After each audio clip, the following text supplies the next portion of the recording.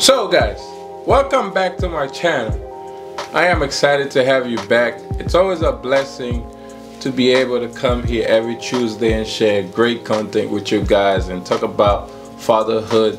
As always, don't forget to subscribe, don't forget to like, don't forget to comment below and share your story as a father or maybe you're a son you want to share the love of your father to somebody who needs it. Everybody needs some kind of guidance in their lives. Let's get into this video and let's go.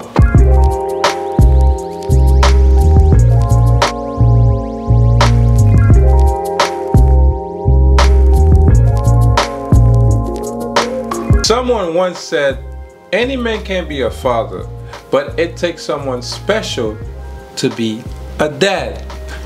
I would definitely agree with that quote simply because dads show support for their children by providing food, shelter, clothing.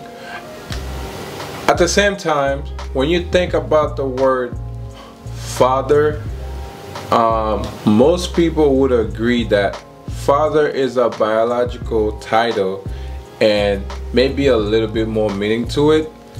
Um, any male parent is technically a father. It's simple as that. The title of a dad is earned through hard work, nurturing, bonding with your children, and supporting your child for the long haul.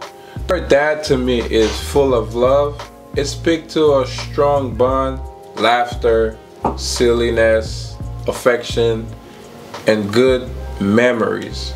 A dad show up and does what's required of him as a parent.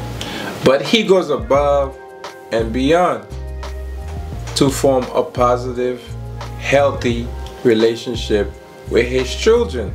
He is a force for good in their lives, bringing laughter and unconditional support. That's what I really felt like is defined as being a dad. I mean, comment below, let me know what you think, and let's talk about it. Love you guys. Till next time.